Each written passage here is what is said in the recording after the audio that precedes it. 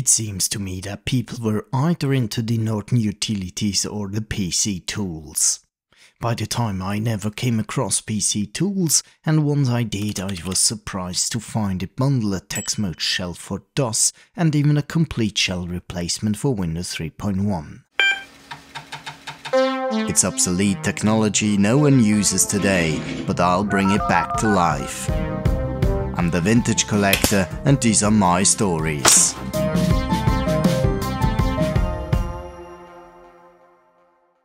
If you've seen my previous video on the Norton desktop then you'll recognize many familiar things today.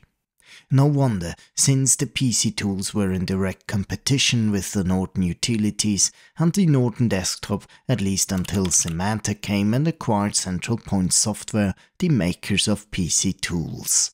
And this is already one of the most striking differences, as for one, Symantec marketed their Norton utilities, the Norton Commander and the Norton Desktop as three separate products, with the latter bundling just a minor subset from the Norton utilities.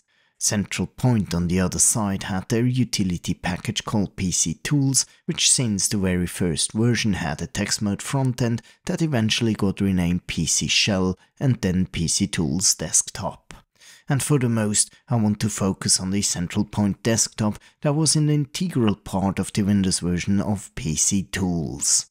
Now, I'm not sure how much a competition PC Tools for Windows and the desktop really was for Norton Desktop. Central Point software was quite late in the game, as Symantec brought Norton Desktop already in 1991, whereas PC Tools for Windows came only in 1993. According to this source, the company had underestimated how quickly Windows 3.x was adopted, which led to their downfall and eventual acquisition by Symantec. But that must not have been the only reason, as at least by the German Wikipedia, it is claimed that Symantec once stated that disk defragmentation being impossible to handle on a multitasking environment. And Central Point then did it anyway but so then did Symantec as well, bringing Speed Disk for Windows. Anyway, one of the first things to note is the different UI styling on Central Point Desktop. It has this huge bar on top, which also provides quick access to a unique feature mostly known from the Unix world, virtual desktops. And this goes even that far that you can configure the desktop page to stay on top, so you have always access to it. Then you can simply drag and drop your applications from one desktop to another as you like. I know everybody coming from the Unix world is laughing now, but hey, for Windows this was quite the thing here. One can also hide this top bar to regain some screen space. Anyway, it makes a difference already, as compared to the Norton desktop, one can't minimize the desktop, it's always there.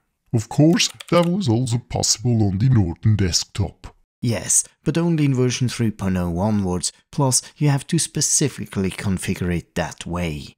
For me certainly, this in combination with the beveling of the program icons to differentiate them from the minimized icons of running programs makes it actually more appealing to me. And see how they replace the default system menu icon by their own CPS icon. It changes the system menu a bit, adding this quick launch submenu from which you can access frequently used applications.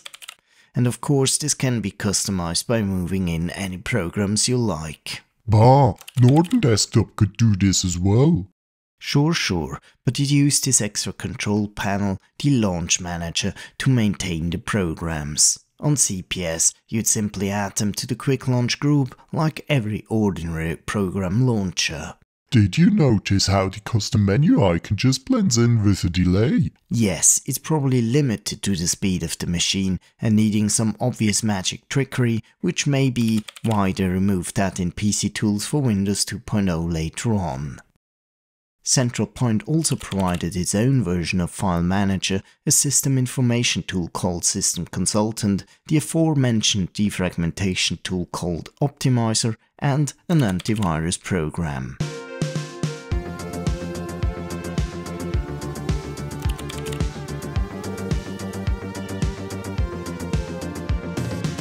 Also here, similar tools as seen in Norton Desktop are found in CPS as well, be it a search engine, a file viewer, yet even an icon editor.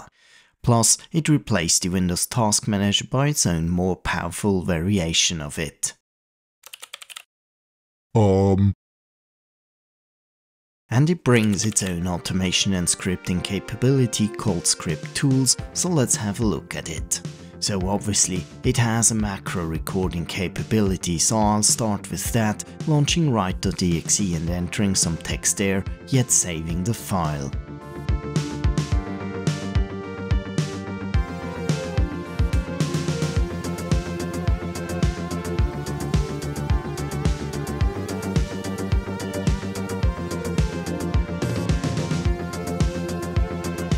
And this is it, what it ends up on the code.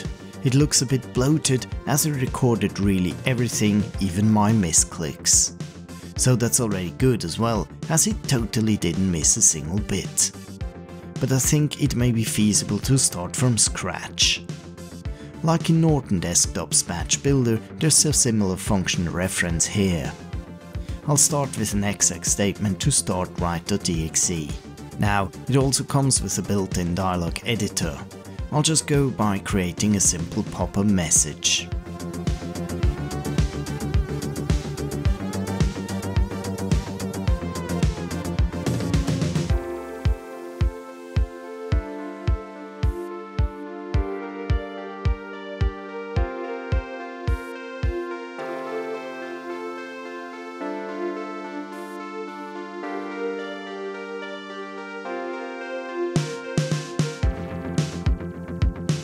Once created, the dialog can be transferred back to the code editor. So let's see, using the dialog function, I can now call up that previously made dialog definition. I also have to supply it with a status variable to capture the return status of the dialog, like which button was pressed. Of course, that's somewhat meaningless for an info pop-up, but anyway. Alright, so it starts Windows Write. Now let's see if I can direct some text at it. There's a method called attach, which needs the full name of the window title, maybe like so. That should bring it to focus to type in some text.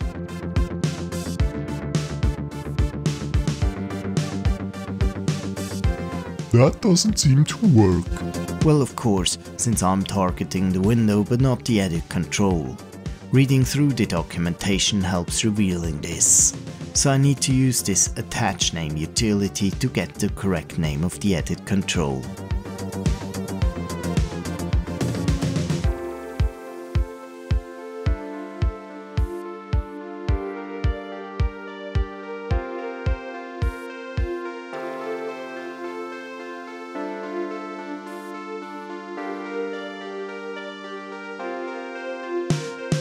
Alright, that made it work now.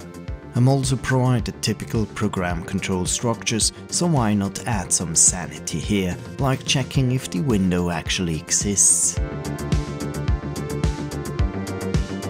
Instead of creating my own dialog this time, I'm going to use the message box method.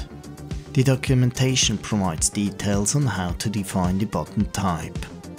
In my case, I want a plain OK button, but also the stop icon, so just adding decimal 0 plus 16 is 16, which I will add as a parameter. Bah, I get a compilation error as I assumed the window exists method to return a boolean and I can get away using an implicit truth check, but it's obviously returning an integer type. So let's check for an integer value of 1 being returned. That doesn't work still. Gosh, obviously I need to check equality with a single equal sign. Alright, it runs now. So to see if it actually works, let's run notepad.exe instead of write.exe. And here we go, the error pops up because it failed to find an instance of write.exe. Very nice. Apart from that, the Central Point Desktop offers pretty much the same as the Norton Desktop, for example customizable menus. It can also define shortcuts, like here where I'm adding the Ctrl plus R shortcut to bring up the run dialog quickly. I then also had a brief look at version 2.0. At first, I accidentally skipped to enable the default shell to be the central point desktop, but luckily this can easily be fixed. Either you edit the system.ini yourself, or you use the configuration program to enable it. The most obvious one to spot is the omission of the CPS icon in the system menu and the new system resource information on the bottom. But other than that, it's pretty hard to spot what actually changed on the desktop in version 2.0. We have pretty much the same thing as before, though it gained a tutorial, there's a template folder, yet a screen capture utility was added, and also this one here to create the system emergency disk. But to be frank, the PC Tools desktop in version 1.0 looked a little bit more tidied up than this clutter here in version 2.0. I was then looking around if I find a what's new file as it was often published along with new software. And interestingly enough, I found one on the distribution media which was not installed on disk. And that's also a good showcase for the power of the file manager which works using context menus and allows me to expand the compressed document right away. Norton Desktop had context menus as well. Sure, but not as widespread, like it didn't have them at all on the file manager. Reading through the What's New file, I get quite a good overview on what has changed. And it was quite a long list actually. So for the pure functionality of the desktop, the step up from version 1.0 to version 2.0 was maybe not that big thing of an improvement, but many things were improved under the hood. But that's okay, as the desktop was just one part of the entire PC Tools package and I decidedly wanted to focus on the shell for the most. Speaking of the shell, without going into too many details, here's the DOS version of PC Tools 8 with the PC Tools Text Mode desktop. Now compare that briefly again to the DOS version of the Norton desktop or even the Norton Commander. It's similar ideas and concepts, which must not necessarily be a bad thing. Personally, I would always prefer the Norton Commander on DOS over either of the two. After having looked at both desktop versions for Windows, I must admit that for the Windows desktop itself, I would rather prefer the Central Point desktop over Norton desktop. I like the task manager, the fact it doesn't minimize, it has the sticky windows for the virtual desktop and a way more powerful context menu in file manager. Still, I would anytime prefer either of the two over the stock Windows 3.1 program manager. But again, it's a matter of personal preference. What do you think about it? Let me know in the comments below. I'm the Phintage Collector and this was my story for today. Thanks for watching and see you again next Sunday. Next on the Phintage Collector. I'm not done yet with the alternative shells for Windows, we're still missing Calmira, a Windows 95-like shell for Windows 3.1. But before we see how that one stacks up on a real 386, I'll have to take the comparison with Windows 95 and why it's probably a bad idea to install it on a 386.